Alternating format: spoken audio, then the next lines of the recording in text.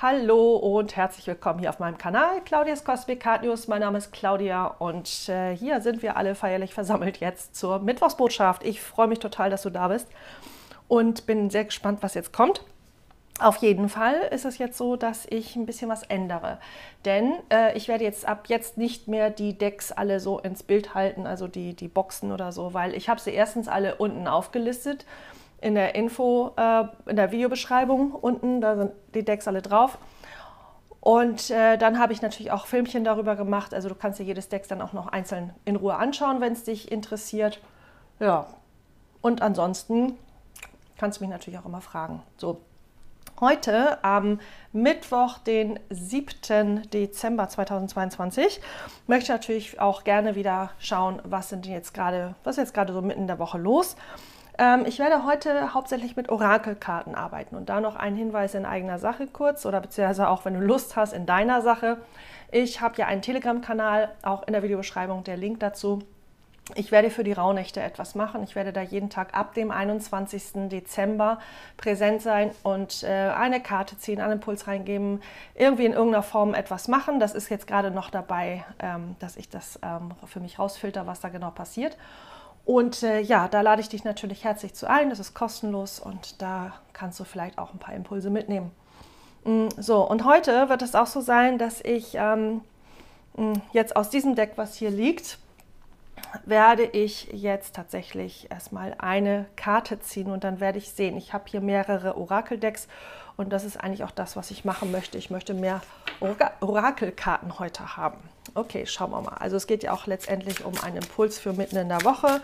Was steht jetzt aktuell an hier fürs Kollektiv auf meinem Kanal?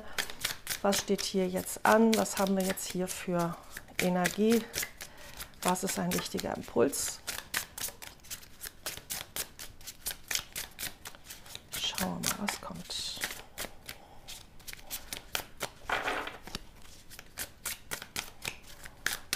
Ja, ich muss sie erst noch warm mischen oder so. Also, was ist hier der Impuls fürs Kollektiv?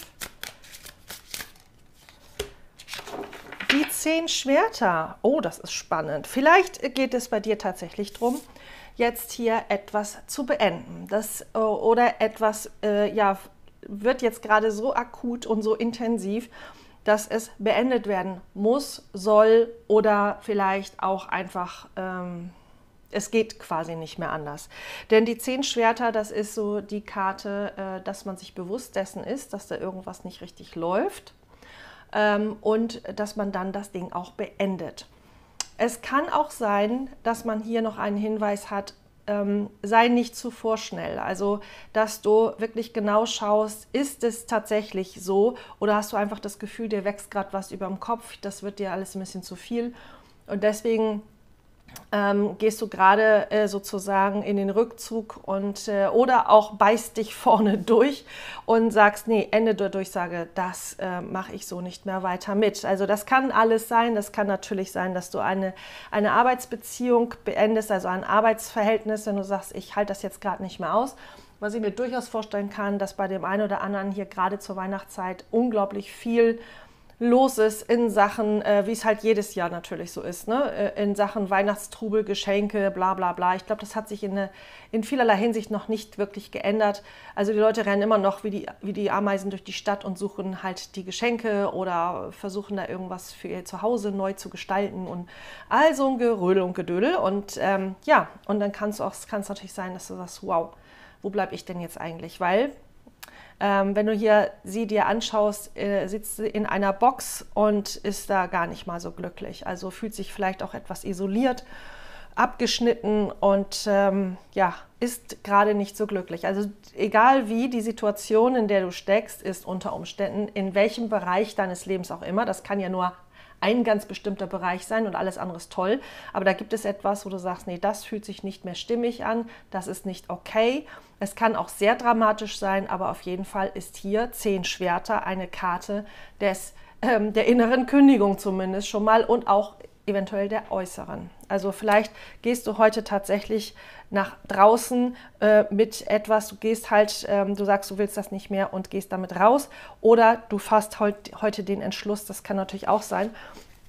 Ich möchte hier mal schnell gucken, was ist am unteren Kartenrand. Oho, ja, Hier haben wir die äh, The Judgment, also das heißt das Gericht. Und das ist natürlich äh, die vorletzte Karte der großen Arkana. Da geht es um Transformation. Da geht es um das große Loslassen. Also das ist eine Hammer-Kombi, weil mit der Entscheidung, die du da triffst, wir haben hier Schwerter, da geht es um, um Entscheidungen natürlich auch und auch um Klarheit, ähm, kann es sein, dass du wirklich hier etwas ganz Großes loslässt, dich von etwas befreist ähm, die Karte ist tatsächlich äh, in der klassischen Bedeutung eine, die Karte, eine Energie, die durch und durch beglückend ist, diese Erfahrung, die aber durchaus natürlich auch mit ähm, vorherigen Schwierigkeiten zu tun haben kann, wie hier, dass man wirklich an einen Punkt des Leidens kommt, wo man sagt, äh, dass das einfach nicht mehr auszuhalten ist.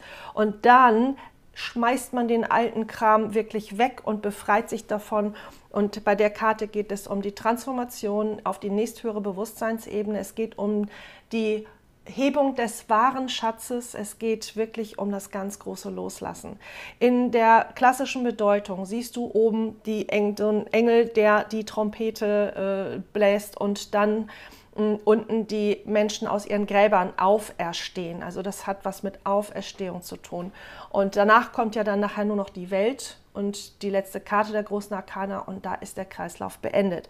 Also das ist hier die Vorstufe, aber sie ist wirklich eine sehr, sehr gute. Es hat sehr viel ähm, Befreiungscharakter aus alten Dingen, alten Mustern, die nicht mehr dir dienlich sind und die du nun endlich, endlich loslassen kannst. Und bei manchen Menschen oder bei vielen Menschen ist es ja leider so, dass der Schmerz erst so krass sein muss, so intensiv sein muss, dass du erst an einem bestimmten Level ankommen musst, dass du quasi kurz vorm Burnout stehst oder du hast ihn bereits und dann erst bist du bereit loszulassen. Also das ist uns natürlich auch, dass wir dann aufgrund dieser Erfahrung auch erkennen dürfen, dass wir schon längst hätten loslassen dürfen, sollen, müssen für unser Wohl. Denn ähm, die Anzeichen sind natürlich schon sehr viel früher da. Die Anzeichen sind schon sehr früh da. Also das fängt ja an mit einem Gedanken, der äh, oder du sagst, das behagt mir nicht, das gefällt mir nicht, das ist nicht in Ordnung, das fühlt sich komisch an. Ähm, wenn du dauernd gefordert oder auch überfordert bist über dein Maß hinaus, was du eigentlich bereit bist zu geben und du gehst immer weiter, immer weiter, immer weiter, dann hast du dann unter Umständen wirklich dann irgendwann, ja, äh, dann hast du so die Faxendicke und dann bist du so ausgelaugt und so fix und foxy, dass da nichts mehr geht und dann hilft nur noch ähm, tatsächlich das, äh, das, das Willkürliche, das mit ganz viel Gewalt und auch sehr intensiv und also Gewalt im Sinne von nicht, nicht äh, äh körperlich werden, sondern also Gewalt im Sinne von, äh, ich zwinge mich dazu, ich mache das jetzt, obwohl ich vielleicht Angst habe, weil äh, ich dann, so, das, das ist so wirklich das willkürliche Schlussmachen. Das hat so ein bisschen was wie vor dem Burnout, also vor dem vollkommenen Zusammenbruch und vielleicht hast du jetzt schon eine Ahnung, dass der kommen würde, wenn du das jetzt nicht beendest, wenn du das jetzt nicht sein lässt und hinter dir lässt. Und äh, die Karte sagt, ja, okay, es ist soweit. Die Transformation ist im vollen Gange. Es ist soweit. Das ist die unterliegende Energie, die dich da wirklich unterstützt. Diese Karte durch ihre durch und durch beglückende Erfahrung, ich wiederhole das gerne, äh, unterstützt mit einer sehr, sehr kraftvollen Energie. Und wenn es dir gerade nicht so gut geht, dann wisse, dass dich das in nächsthöhere, in bessere, in schönere Gefilde bringt. Du musst den Schritt nur tun. Also wenn du jetzt wirklich in, in der Lage bist, in der Situation bist, dass du sagst, ich stehe hier wirklich äh, vor einer Situation oder bin mitten in einer Situation, die eigentlich wirklich, äh, ja, ich weiß gar nicht, warum ich das schon so lange mitmache, dann ist es wirklich Zeit, das jetzt zu transformieren. Also hol einfach mal tief Luft, spür in dich rein, was ist jetzt das, was für dich wichtig und richtig ist zu tun und treffe eine Entscheidung. Treffe einfach für dich eine Entscheidung, bevor du nach außen gehst, aber sei dir klar darüber, um was es geht. Sei dir im Klaren darüber, wo ähm, das, was jetzt ist, ob es wirklich etwas ist, was du, ähm, was, wo du nur kurzfristig mal überfordert bist und wo du sagst, das ist mir fremd, das kenne ich nicht, oh Gott, oh Gott, oh Gott. Und deswegen das von dir stößt. Oder bist du wirklich in einer Situation, die du vielleicht schon länger erträgst und wo du sagst, ja, es ist wirklich Zeit, ich muss da jetzt mal raus. Also das finde ich wirklich großartige Hinweise hier. Ich nehme jetzt, äh, ich mache das mal ein bisschen anders, damit ich hier ein bisschen mehr Platz habe. Also ich lege diese Karte, weil die so großartig und wichtig ist, hier mal mit einfach, ich lege das jetzt einfach mal mit hier hin. So, äh, nee, so. Okay, ich baue noch ein bisschen weiter aus hier. so, ist ein ungewöhnliches Bild, aber das ist jetzt einfach für mich mal ganz wichtig. Mal schauen, ob ich das so lasse. So, Lieben, ähm, jetzt möchte ich ganz gerne tatsächlich noch wissen. Mh, mm, nee, ich fange mal anders an. Ich nehme jetzt mal äh, das schamanische Seelenorakel und äh, das kann auch sein, dass ich dieses Deck nachher für die Rauhnächte nehme. Ich muss mal schauen. Also auf jeden Fall möchte ich hier noch mal gerne ähm, wissen, was sagt dieses Deck denn hier, was sagt das schamanische Seelenorakel hier zu dieser Situation. Vielleicht ist es für ist jetzt hier auch jemand ganz anders angesprochen. Es kann natürlich sein, dass jetzt eine Karte kommt, die mit dem nichts mehr zu tun hat oder sich da ergänzt. Also je nachdem. Es kann sein, dass der eine mit diesem Bereich in, in Resonanz geht. Es ist ja eine allgemeine Legung. Du kannst, du musst nicht in Resonanz gehen. Ähm, dass der eine mit diesem Bereich in Resonanz geht und der andere mit dem. Schauen wir mal, was hier noch kommt. Also, was haben wir hier? Diese Karte möchte gerne. Oh, wow. Die Sonne. Die ziehe ich ja immer gerne, ne? Okay, was haben wir hier? Die Karte sieht so aus. Wunderschön. Also, die Nummer 53 ähm, aus dem schamanischen Seenorakel. Da gucken wir doch mal, was hier die Bedeutung ist. Also, es kann natürlich sein, dass du zum Beispiel jetzt sagst, hey, ich bin 53, supi, und gehst damit in Resonanz. Mit der Sonne geht man übrigens immer gerne in Resonanz, finde ich. Mm, oder die, deine Lebenszeit könnte auch acht sein. Oder du hast am 5.3. Geburtstag. Alles möglich. Also, die Sonne, die Essenz. In vielen Kulturen gilt die Sonne als bedeutendste männliche Kraft. In anderen betrachtet man sie als das Feminine schlechthin. So oder so bescheint sie alle Wesen mit hellstem Licht und entlockt der dunklen weiblichen Erde sprießendes Leben. Während ihres Auf- und Untergangs im Herbst und Winter kann die Sonne sanft und wärmend sein, aber auch zerstörerisch, wenn sie in einem glühend heißen Sommer im Zenit steht. Die Einladung. Hast du Winterschlaf gehalten? Innenschau? Für dich ist es jetzt an der Zeit, aus deiner Höhle herauszukommen und das lebenspendende Licht vom Mittelpunkt unseres Planetensystems zu genießen. Die Sonne lässt deine Leidenschaft und deine Kreativität wieder aufleben. Das Leben fordert dich auf, dich zu zeigen und die ganze Ernsthaftigkeit um dich herum mit deinem Humor und deiner Leichtigkeit zu bereichern. Los, geh raus, geh spielen. Die Medizin. Leuchtet dein Licht schon viel zu lange? Du darfst nicht vergessen, dass die Sonne nur in einer Hälfte des Tages scheint, die andere nimmt die Nacht in Anspruch, die auch viel Schönes zu bieten hat. Pass auf, dass du dich nicht von deinem eigenen Licht oder dem anderer geblendet wirst. Dass du nicht von deinem eigenen Licht oder dem anderer geblendet wirst. Lass dich nicht von dir selbst entzücken und verehre auch sonst niemanden. Hüte dich vor deinem Schatten. Schwelge ruhig in deiner Mittagspracht, hab aber auch keine Angst, wenn das Licht in der Dämmerung zu versinken beginnt das hat mir hier fast schon einen Zusammenhang, wenn ich mal überlege, dass wir hier etwas haben, wo es dunkel ist, wo man sich nicht gut fühlt, wo, wo man wirklich einfach, äh, ja, wo es einfach unangenehm ist und ähm, ja, man eine Situation hat, die auch tatsächlich mit sehr viel Leid unter Umständen verbunden sein kann und sehr viel Schmerzen und sehr viel Anstrengung was ich auch vorhin schon sagte, Überforderung und so weiter. Also wenn, da steht ja auch, wenn die Sonne scheint ja nur zu einem Teil des Tages. Und das heißt für mich auch, okay, du hast eine wunderbare Kraft eine Zeit lang und dann pass auf, dass du deine Energie nicht verpulverst, dass du die nicht in Dinge steckst, die dich nicht letztendlich ähm, nähren, sondern die, wo du nur Energie rausgibst, wie in so ein schwarzes Loch, was keine Energie, keine Reflexion hat und nichts absorbiert ganz wichtig, immer wieder mal in die Selbstreflexion zu gehen, zu schauen, gibt es hier etwas, was ich loslassen darf, was ich transformieren darf und ähm, was wirklich mich weiterbringt dann, wenn ich es loslasse. Und ähm, ja, vielleicht ist das genau der Punkt, wo du sagst, okay, jetzt bin ich wirklich da angekommen und ich möchte mein Licht endlich wieder scheinen lassen. Also die, auch hier ist die Unterstützung da. Das finde ich sehr, sehr schön übrigens. Ähm, wie kann ich auch anders? So, was haben wir hier noch?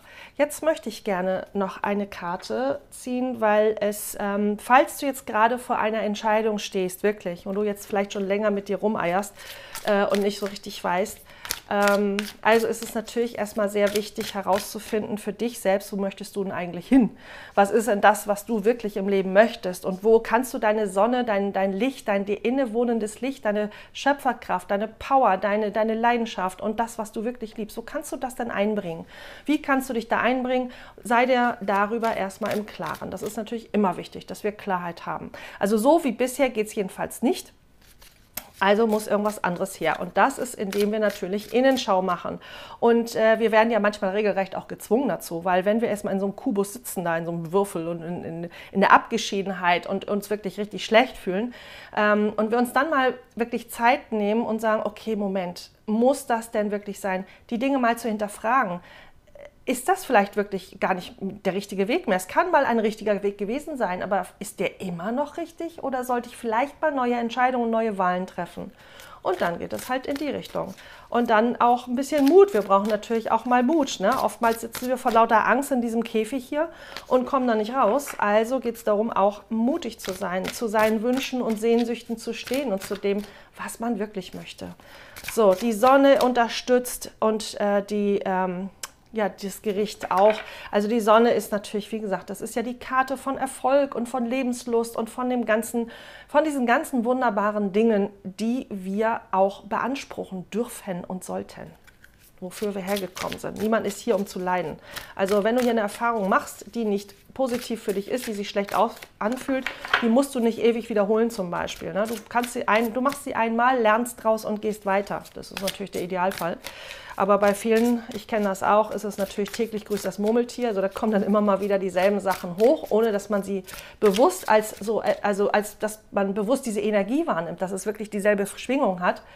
Also geht es natürlich darum, dann das zu erkennen und dann auch, okay, hin zu hinterfragen, habe ich so eine Situation schon mal gehabt? Oder fühlt sich das vielleicht ähnlich an wie das, was ich damals hatte oder da, da, da, da, da. Es können ja mehrfach sein. Komme ich immer wieder in bestimmte Situationen äh, wo ich dann am Ende nachher wirklich wieder da hocke und äh, es, es, ich das Ganze einfach doof finde und gar nicht mehr da wei weitermachen will und mich meinem Leiden ergeben habe vielleicht, bis ich dann irgendwann mal ähm, dann tatsächlich etwas äh, doch entschieden habe, ich möchte das nicht mehr und habe eine neue Erfahrung gemacht. Aber vielleicht geht das auch diesmal ein bisschen schneller. Man muss nicht erst an diesen Punkt kommen. Ne? Okay, jetzt möchte ich noch mal eine für eine Lebensentscheidung weil diese Karten, das ist nämlich die Weisheitskarten für Lebensentscheidungen. Also für diejenigen, wo es jetzt wirklich gerade um Entscheidungen geht, äh, vielleicht wichtige Entscheidungen, Lebensentscheidungen, da, upsala, ja, Tick-Tack.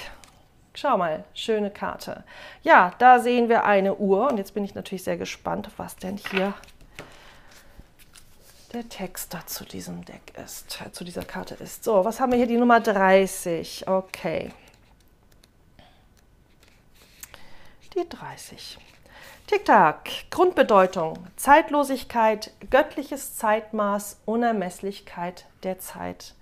Die Botschaft des Orakels an die Menschheit, die Zeit, als die Menschheit die Zeit erfand, wurde alles anders und eng.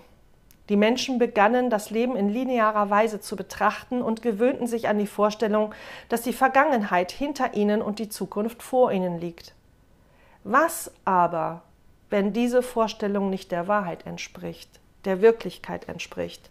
Und was, wenn alles, Kreativität, Schönheit, Chaos und Ordnung sich im Jetzt ereignet in einer großartigen Zeitlosigkeit?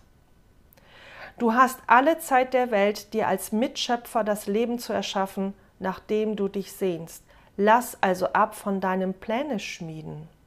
Löse dich von dem Bedürfnis, jeden Augenblick deinen Erwartungen entsprechend zu formen. Was wahrhaft dein ist, wird dir niemals vorenthalten bleiben. Wunder sind stets um dich und werden genau dann geschehen, wenn du ihrer bedarfst. Jetzt kommen wir in den Beziehungsbereich. Beziehungsbotschaft. Liebe, die Erfüllung von Sehnsüchten und sogar die Erholungsphasen des Körpers folgen ihrem eigenen Rhythmus. Manche Dinge sind vorbestimmt, und lassen sich nicht erzwingen. Alles hat seine Zeit, vollzieht sich im göttlichen und dem ihm eigenen Zeitmaß und das gilt zumal für die, Angelegen zumal für die Angelegenheiten des Herzens. Vergiss nicht, dass du immer genügend Zeit zu lieben hast, um Liebe zu finden und zu bewahren, zu geben und zu empfangen. Die Uhr der Liebe läuft ewig und sie tickt in vollkommener Harmonie mit dem Puls deines Herzens. Ist es nicht wunderbar, dies zu wissen? Liebe kommt immer genau zur rechten Zeit. Erfolgsbotschaft. Dein materieller Erfolg ist das gemeinschaftliche Werk deiner eigenen Bemühungen innerhalb der menschlichen Dimension der und in, innerhalb der menschlichen Dimension der Zeit und des ewigen Wirkens deines wichtigsten Verbündeten, des höheren Prinzips, innerhalb einer göttlichen, unmessbaren Zeit. Bleib also bei dem, was du tust. Bewahre dir eine positive Haltung und die kraftvolle Schwingung deiner Gedanken und Gefühle.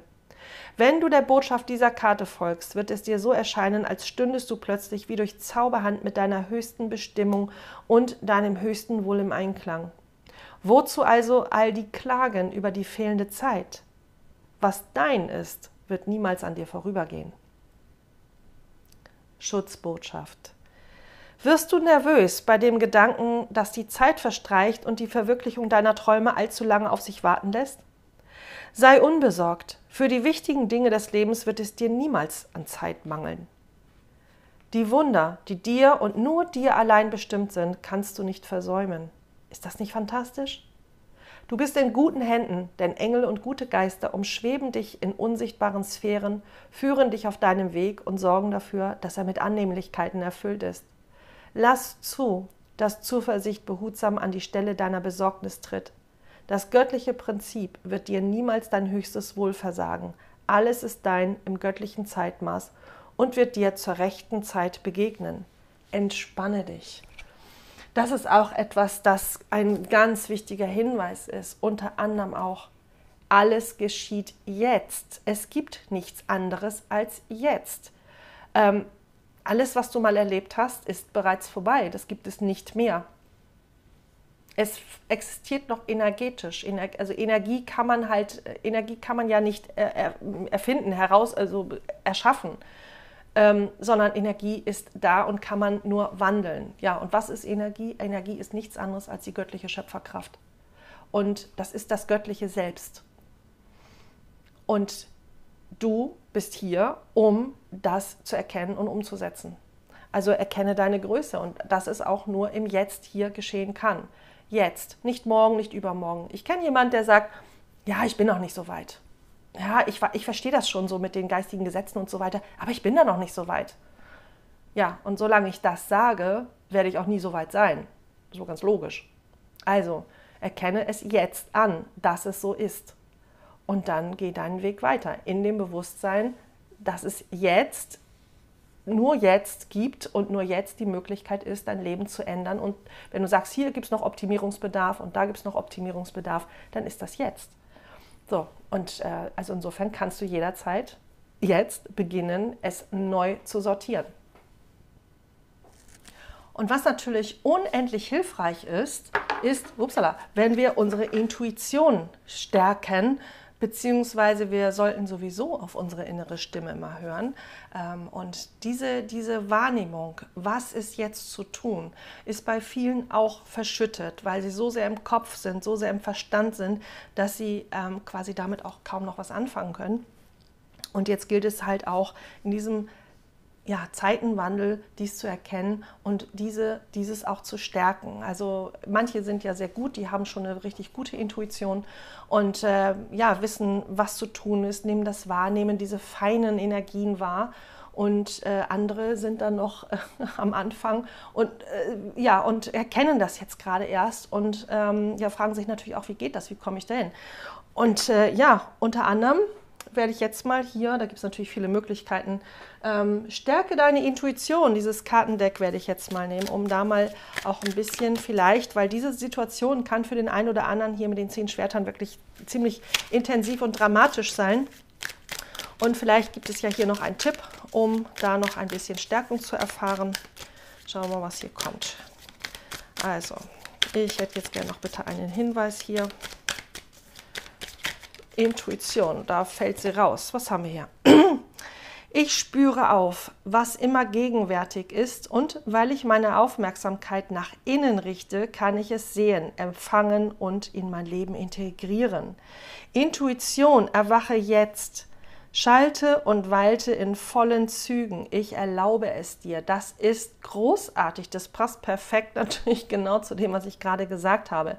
Es geht wirklich darum, vom Außen von den äußeren Umständen, von alles, was so vermeintlich außerhalb von dir ist, die Aufmerksamkeit abzuziehen und sie auf das Innenleben in dir zu richten, auf die Stimme, auf die Intuition und natürlich deiner Intuition auch zu vertrauen und zu erlauben, dass sie sich auch wirklich zeigen darf, dass sie sich bemerkbar machen darf, dass du sie hören darfst, dass du sagst, ja, ich, ich bin offen dafür, ich bin offen und frei und höre auf meine Intuition und gebe ihr auch Macht und, und Stärke und, und beziehungsweise ähm, Entscheidungskraft, ja, dass der Verstand da ein bisschen in den Hintergrund tritt. Ich sage mal so, wir haben irgendwann mal den Hausmeister zum Chef erklärt, sprich den Verstand und ähm, zum Entscheider halt. Chef ist Entscheider, ein Chef entscheidet. Und äh, das ist das, was dem Verstand, was, was da überhaupt nicht hinpasst. Der Verstand ist nicht dafür gemacht, diese Entscheidung zu treffen. Aber wir haben diese Erfahrung gemacht und äh, das ist ja auch in Ordnung. Und jetzt darf das Ganze bitte wieder in die andere Richtung gehen. Und ich möchte jetzt tatsächlich gerne noch eine Karte haben. Also das ist auf jeden Fall, ich spüre auf, was immer gegenwärtig ist und weil ich meine Aufmerksamkeit nach innen richte, ja, kann ich es sehen, empfangen und in mein Leben integrieren. Solange ich die Aufmerksamkeit nämlich vom Außen nicht abziehe und mich nur beschäftige mit dem, was da im Außen alles passiert, diese ganzen Turbulenzen und so weiter, ähm, solange kann ich ja äh, meine Intuition nicht hören. Geht ja gar nicht. Und selbst wenn ich sie mal höre, gehe ich ihr nicht nach und, äh, ja, und äh, höre trotzdem nicht auf, mich damit zu beschäftigen. Wie, ich kenne das selber natürlich auch. Also gerade vor knapp drei Jahren, als so ganz äh, eine bestimmte Situation hier loslief, ähm, war ich so konfus. Ich dachte, ich bin schon so gut aufgestellt, äh, auch im spirituellen, mit meinem geistigen und so weiter, Intuition. Und dann kam diese Situation und die hat mich tatsächlich erstmal so richtig umgeboxt. Ähm, und ich war auch durcheinander, musste mich erstmal wieder sortieren und finden und habe dann aber vielleicht auch gerade deswegen auch einen riesen Bewusstseinssprung nochmal gemacht. Einen nach dem anderen, gehüpft, gehüpft, gehüpft, gesprungen, gesprungen, gesprungen. Ja, und jetzt äh, bin ich also sehr viel gestärkter halt ne? und, und habe da sehr viel mehr Sicherheit in mir. Und ähm, das interessiert mich einfach nicht mehr, was da draußen los ist. Es interessiert mich nicht. Ich weiß, dass alle Informationen, die für mich wichtig sind, immer, stets und ständig, unter jeden Umständen kommen die immer zu mir. Und ich weiß auch, dass ich mit dem, worauf ich meine Aufmerksamkeit richte, dass da meine Energie hingeht. Und Energie folgt der Aufmerksamkeit, das ist ein geistiges Gesetz. Und wenn ich dann also das am Ende eine Blumenwiese sehen möchte, dann muss ich sie jetzt schon sehen und ich muss meine Aufmerksamkeit drauf richten. Wenn ich natürlich meine Aufmerksamkeit auf Dinge richten, die alle schief laufen, die alle, wo ich alles, wo ich vielleicht Ängste bekomme, weil ja ganz viel mit Angst gearbeitet wird im Außen, dann kann das natürlich gut sein, dass äh, ich ja auch genau mich in diese Gedankenspirale verfange und dann auch da mitgerissen werde. Und das möchte ich nicht. Ich weiß einfach, dass das geistiges Gesetz ist, wonach ich, worauf ich meine Aufmerksamkeit richte. Da folgt die Energie hin und das erschaffe ich, weil ich bin Schöpfer. Ich bin Schöpfer meiner Realität, genauso wie jeder andere auch. Also du auch. So, ich möchte noch mal eine ähm, Karte haben. Deswegen bin ich immer sehr für die, diese, diese Stärkung der Intuition, sich dessen bewusst zu werden, was ist da wirklich in mir los und ähm, wo geht die Reise hin. Upsala, ups, da hüpft noch eine.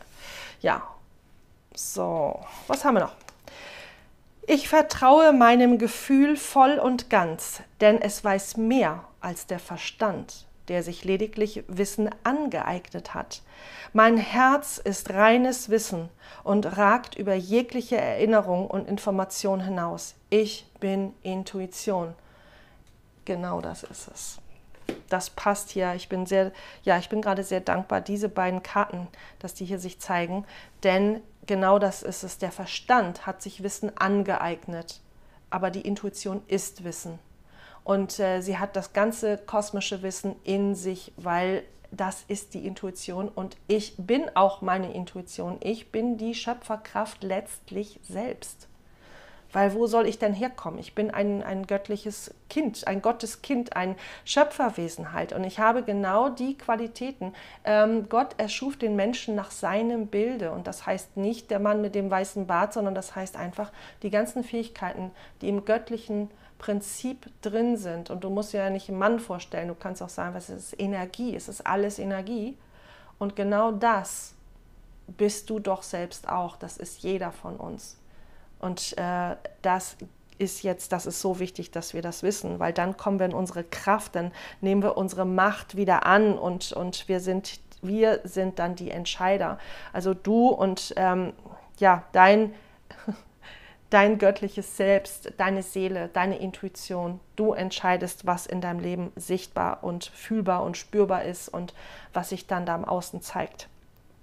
Okay. Warte, jetzt lege ich die nochmal, weil ich möchte gerne noch, ich bin ja so, so, ich freue mich ja immer so über die Heilsteine. Ich, ich liebe ja Steine so sehr und deswegen möchte ich jetzt gerne mal wissen, was uns hier denn heute am Mittwoch auch für ein Stein mit äh, noch einen Impuls gibt. Vielleicht schauen wir was hier an den Steinen, was ich hier zeigen möchte. Welcher Stein möchte sich zeigen? Upsala. Oh, ja. Äh, Bergkristall 1, 2, 3, 4. Ja, genau. Ich habe ja hier, äh, bin ja recht, mit, mit, Bergkristall bin ich ja sehr gut ausgestattet. Und äh, das finde ich gerade auch ganz hervorragend, weil es geht hier um Klarheit, um Reinheit und Energie. Es ist an der Zeit, deinen Weg zu gehen. Deinen. Ja, hier, guck mal. Das passt ja wieder wie, wie A auf E. Ne? Also passt schon wieder hervorragend zusammen. Bergkristall bringt dich in deine Mitte und weist dir den Weg zu deinem Lebensziel. Klarheit, ihr Lieben. Klarheit ist so wichtig, dass wir Klarheit im Leben haben und dass wir mit Klarheit unseren Weg gehen, wenn wir wissen, was wir wollen und es nicht mehr von diesen äußeren Umständen wirklich beeinflussen lassen und einfach in uns bleiben, in uns ruhen. Hier, schau mal, ähm, das ist eine freundliche Leihgabe meines Partners. Er sagt, der darf erstmal hier wohnen, aber er, wollt, er hat sich gewünscht, dass der auch mal im Video erscheint. Also, und das passt jetzt so perfekt. Folge deinem Herzen, folge deiner Intuition. Ja, das ist wirklich ähm, Bergkristall, wunderschön, oder? Hier sind so Regenbögen auch drin, das ist richtig toll. Okay, also folge deinem Herzen. Ganz wichtiger Hinweis hier. Ja, so, wunderbar. Okay, ja, ihr Lieben, also ich würde mal sagen, das ist hier eine Menge Input jetzt für heute. Ich wusste nicht, dass das so in diese Richtung wandert, aber es ist wunderbar, es fühlt sich total schön an. Also ne, spür die Sonne, die in dir ist und sich auch zeigen möchte. Lass dein Licht leuchten. Achte aber auch auf Ausgewogenheit, auf Harmonie und Balance. Ähm, schau, dass du das, was, du, was dich einengt, was dich zurückhält, ähm, wo du dich beziehungsweise was du ja erlaubt hast, dass es dich zurückhält, weil es hat dich ja keiner gezwungen. Also erlaube das Licht in dir zu leuchten ähm, und das, was dir nicht mehr dienlich ist, zu transformieren auf eine nächsthöhere Bewusstseinsstufe und den wahren Schatz zu heben. Und wisse, dass alles, was dein ist, nicht an dir vorübergehen kann. Und die Zeit dafür ist jetzt. Okay, dann würde ich sagen, gehen wir in aller Klarheit, ähm, Reinheit unseren eigenen Weg und schön in unserer Mitte. Und dann schauen wir mal, wie die Zeit jetzt so läuft und was jetzt noch so passiert. Ich danke dir auf jeden Fall von Herzen fürs Zuschauen. Gerne natürlich Kanal liken, äh, Kanal abonnieren, äh, Video liken und kommentieren und so weiter und so fort. Okay, also ihr Lieben, bis ganz bald, bis zum nächsten Video. Ich freue mich, wenn du wieder mit dabei bist. Namaste.